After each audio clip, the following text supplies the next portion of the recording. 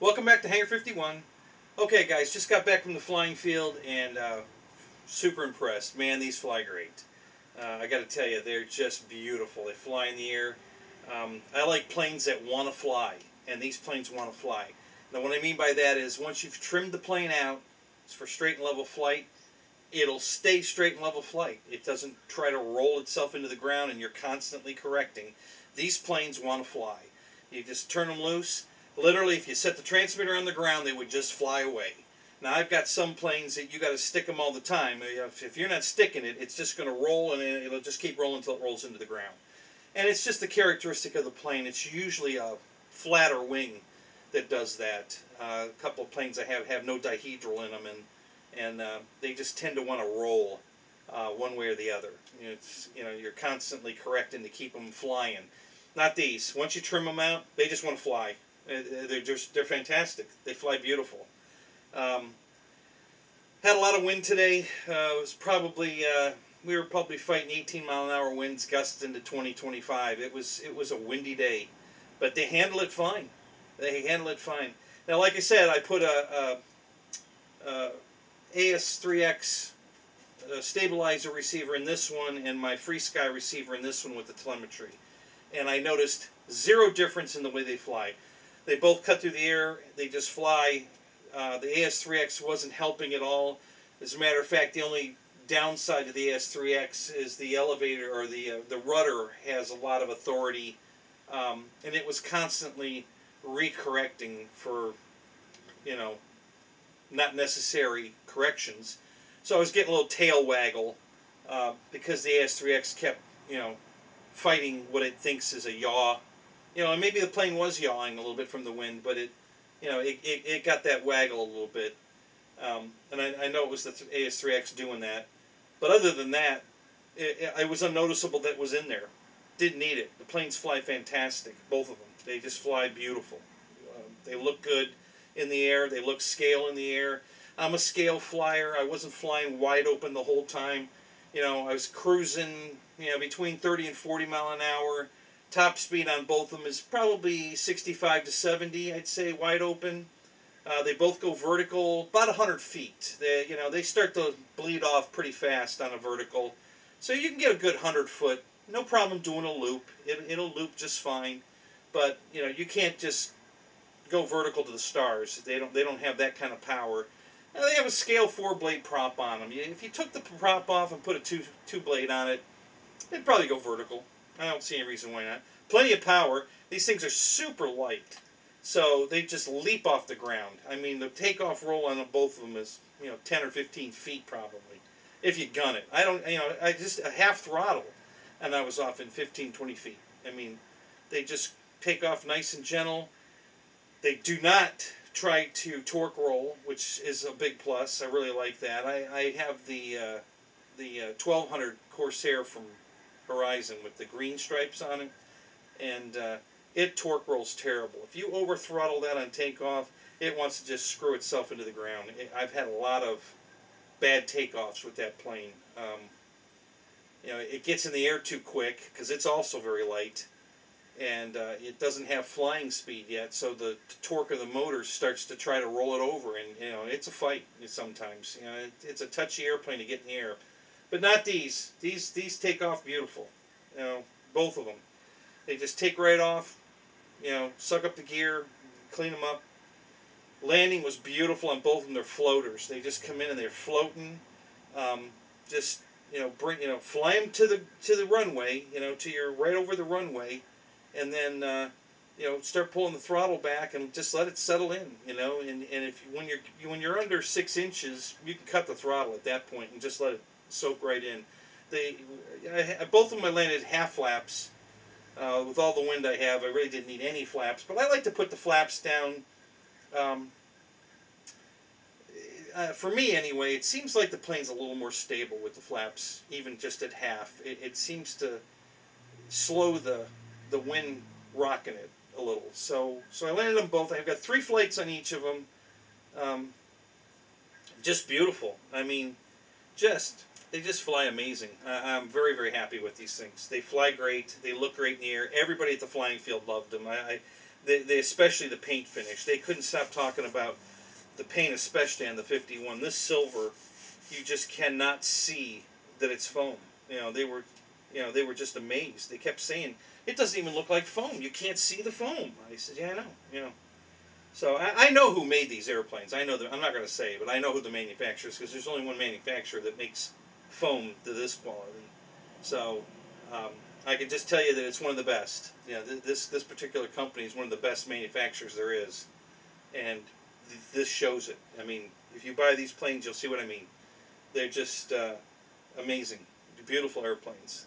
So yeah, that's my flight review, guys. They flew fantastic. Um, no bad tendencies. Uh, I didn't try to stall either one of them. Uh, I did bring them both down to a very slow, very slow, uh, and they didn't do anything. They didn't try to, you know, tip stall. They didn't try to stall at all, really, and they were, you know, I mean, practically not flying, and they, they still didn't stall. So um, no bad tendencies at all. No torque rolling, no stalling. Uh, you know, just flying, and, and, and you know, they both roll really good. They have good roll rates, both of them. The Bearcat actually rolls a little straighter uh, than the, than the Mustang. I don't know if maybe one of my maybe I had a little rudder in it and the trim or something, but yeah, the Bearcat does absolutely spiral stoles, uh, rolls, and the Mustang. I think it was just one way, not the other. It had a slight tail waggy roll, which most of my Mustangs do. Uh, they don't, none of them screw, you know. The Bearcat seemed a little faster. You know, it could have been the batteries I was using. I didn't use the same batteries in both of them, and maybe the battery was a little stronger in the Bearcat. Now, I was flying this with a 2200 because um, I don't have, um, well, because nothing else will fit in it, and I didn't want to start hacking it up yet. It's a brand new airplane. I don't want to start hacking it up.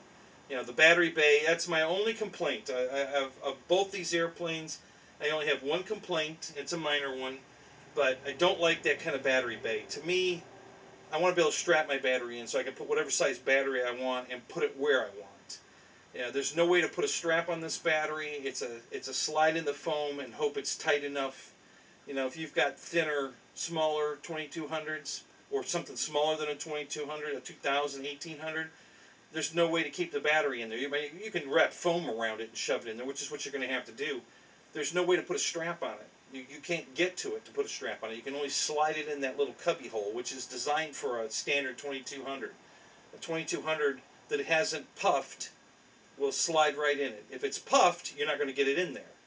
So that's why I don't like these kind of battery holes. Uh, they're, they're just, you know, I think uh, if they wanted to improve this airplane, I don't mind this. This is fine.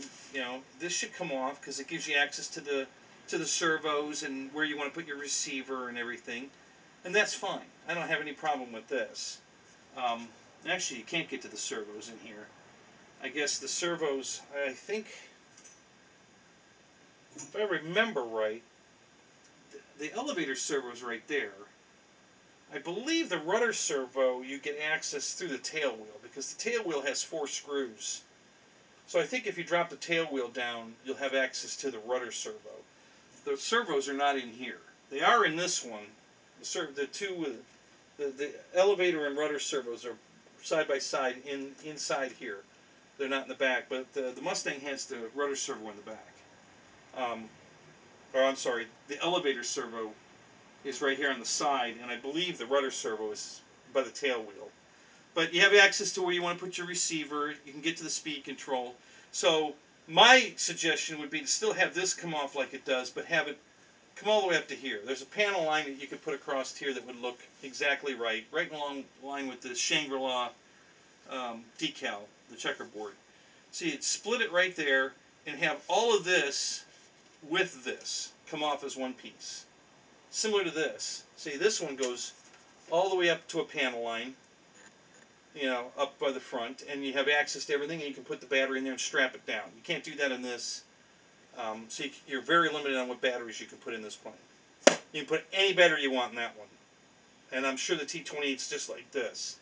So that's my only complaint about both airplanes. I have no complaints on the, the Bearcat. Fantastic. Everything about this I love except the battery the battery compartment. I'm not a fan of this shoving the battery up forward. FMS was doing it for years. I don't like it. Um, on their on their um, their 1450 planes now they've got a tray that slides in and out, which is a big help. I mean, I do like that. Um, but the 1700s are still you get you just have to shove the battery up front in a cubby hole similar to this on both the uh, P47 and the Mustang and there's just there's no way to strap it in. It's it's, it's I, I don't like that design. I, I'm not a fan of that. So that's my only complaint. I don't like the battery compartment. You know I have several swelled up 2200s that won't fit in that battery bay. Um, and I know you guys are to say well you should be flying those anyway. Well you know listen the swelling is not that big of an issue. It's the non-balancing. If the battery pack charges evenly, okay, all three cells are evenly charged and it discharges evenly, then the pack is usable. There's nothing wrong with using a swollen battery as long as the cells match and they're they're charging and discharging evenly. And I have several packs like that. And I've been flying them for years like that. Um, so that's not the big issue. The big issue with the, you know, with the, the, swelling is not the big issue. You know, once the battery stops charging evenly or starts just like you got one cell that that quits quickly and the other two are still hanging on, you don't want to use that anymore. That's the pack you get rid of that one. But just because it's swolled doesn't mean it's no good anymore. Uh, you know, you can uh, like I said, as long as it charges and discharges evenly, you're fine. Um, you know, of course you want to keep an eye on it. You know, I have a crashed battery pack that's all mushed in the front. But I checked every cell. All the cells are good. I've charged it and discharged it several times on the uh, on the bench just to test it. It charges and discharges fine. So I'm continuing to fly that battery. I've been flying it for a year now. You know, mushed pretty hard from a crash. So, um, you know, don't disregard a battery just because of that. It's, there's, you know, as long as it's still performing correctly, it's usable. You know, um, I wouldn't just you all make your own decisions. I mean, I'm just telling you my experiences. You know, and, I, and I've had very good luck with swollen batteries that still charge and discharge evenly. So I, am going to continue to use them. I just can't use them in this because they're not going to fit. You know, once they've swelled that much, you know, fit in there. You know, that's that's the limitation of a of a battery hole like that. So my only complaint, it's a tiny one. Wouldn't stop me from buying this airplane. I absolutely love it. It's beautiful. I love this Shangri-La, uh, you know, graphic, and uh, you know that's why I bought it. I wanted a Shangri-La graphic again. I had one. I lost it. Uh, sold it, and uh, so I've got another one. It's beautiful. I love it. I love the Bearcat, but wanted a Bearcat for years. Was going to buy uh, FlightLine's, but not now. Um, you know, they took that right off the table and I'm and I'm glad they didn't now because I, I like this one much better. I was out at the field today with it, and there was a guy there with a flight line one, and I took it over and I set it right down next to him, and, and he says, "Wow, who makes that?" Arrows RC with an S. And he's like, "Wow."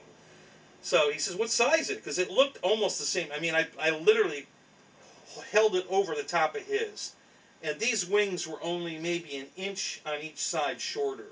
You know, it's about a two inch. It was very close in size. The, the, there's a 1200 and this is 1100. I don't know if this is 1150, 1160, and theirs is only 1190, and they're calling it 1200. I don't know, but they they seemed a lot closer than a full 1100 to 1200. I think that's four inches, and it, there wasn't a four inch difference. So I think probably both companies are fudging the numbers. I'll bet this is a little over 1100, and I'll bet theirs is a little under 1200. So they were very close in size. Um, the detail on this one was much better. He even said, "Wow, look at the panel lines, look at the rivets." You know, he says, "You know, that's that's beautiful." So um, anyway, um, so that's my review. I don't have any flight footage. Sorry, I uh, I couldn't get anybody to take the camera and, and film it for me, so I don't have any flight footage yet. I didn't want to stick my uh, Mobius on the top of the canopies until I had flown them and comfortable. And the it was so windy, I, I didn't want to film it today anyway from the plane, because when you do a film from the plane in wind, and it's doing this, it just looks exaggerated on video versus, you know, from the ground it doesn't look so bad, but, you know, when it's getting tossed around, it looks really bad from the, from the plane. So I wouldn't have shot that video anyway. But I'll get some video. But uh, if you want to see him fly, Ryan already did a flight on uh, the Bearcat anyway, for sure. I saw that. And, uh, and it, it's accurate. That's how it flies. It really flies, just like you're going to see it on, on Ryan's. So jump over to Ryan's. Uh, I'm sure if you Googled this, his came up too. So that's how it flies. And just like he says, I mean, it you know it flies beautiful. Um, you know, just they're both fantastic. Uh, they want to fly. They definitely want to want to stay in the air. They're not a fight to keep them in the air. You got to trim them out. Very little trimming, just like Ryan said. You know, I had to put a little down elevator in both of them. Um, I don't think I put a more than a click either way on the ailerons to level it. I mean, it, it, it, it, really, right out of the box, the way it was set up, they flew, you know, almost untouched. They, they needed so little trimming. They both needed a little down, I think they both needed a little down trim. I know the Bearcat for sure did. I can't remember if the, yeah, I think the Mustang did too. Yeah, they both needed just a tad bit of down trim. Um, only last tip, guys, um, on tail dragger airplanes like this, if you're if you're having trouble with it nosing over a lot, uh, there's two things. First, make sure your wheels are rolling freely. You know, there's nothing hanging on them. You know, you can't. You're gonna, I, I flew off grass, guys. I'm, I fly off of grass running. You know, Ryan's flying off of that. It's not pavement. It's that rubber sheet stuff. I forget what they call it.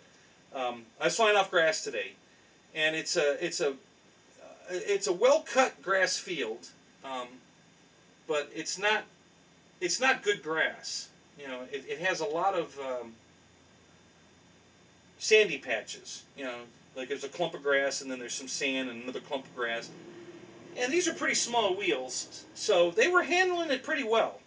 Uh, but every once in a while, you know, when I rolled over a tuft of grass and hit the sand, and then when it rolled to the next tuft of grass, it stopped, and it would nose over.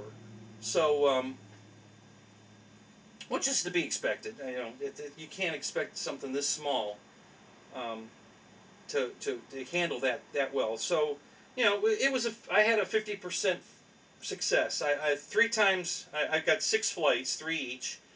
Um, I had to go out, walk out and pick it up three times because I couldn't taxi back, and uh, three times I got him to taxi back. You know, I hit. I got him in the area where there was um, good grass, and I was able to on the good grass it taxied fine, beautifully.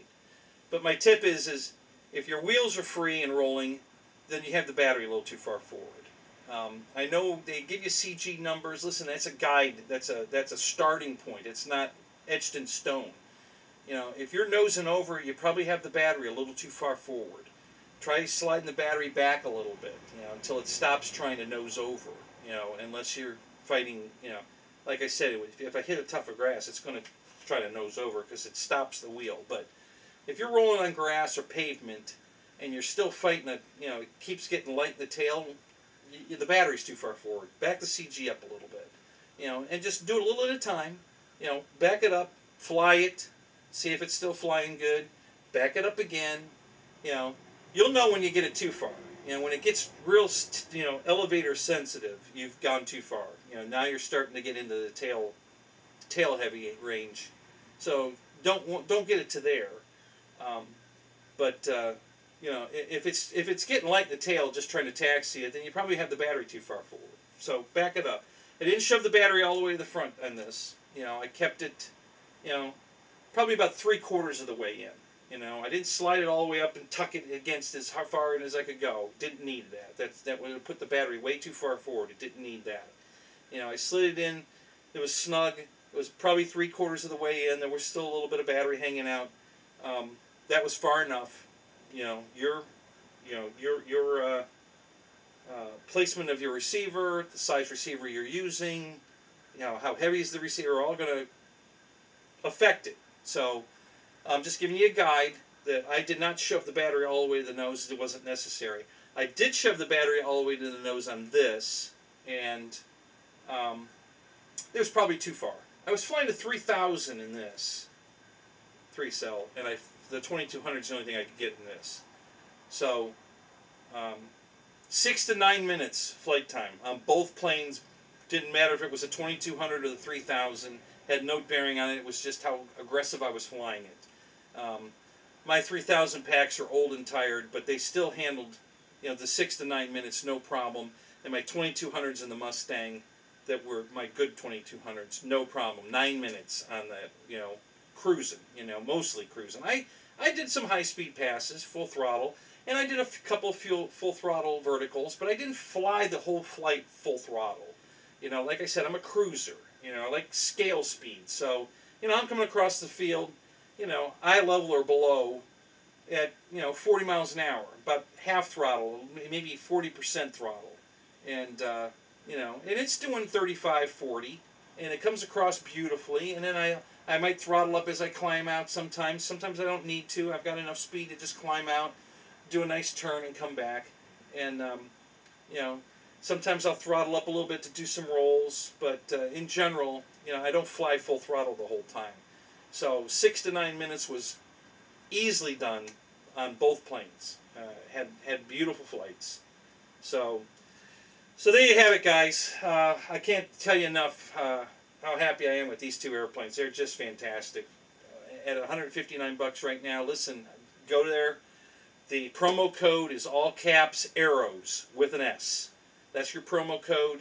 You get $20 off on each plane singularly. If you buy two at the same time, you get $30 off both planes. And it's a screaming deal. I highly recommend you if you're gonna if you're thinking about these planes, don't think any longer. Go get them, because that deal ends the 25th uh, of February. This this month, February, the 25th.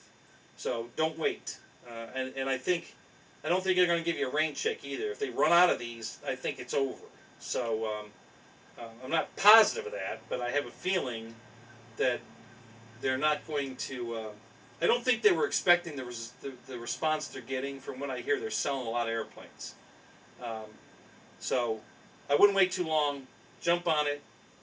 $189 normally, $20 off if you buy one, $30 off each plane if you buy two, uh, till the 25th of February. Go get yours now. Thanks for watching. I hope you enjoyed this. I hope this was helpful. And we'll see you at the flying field. Talk to you later. Bye bye.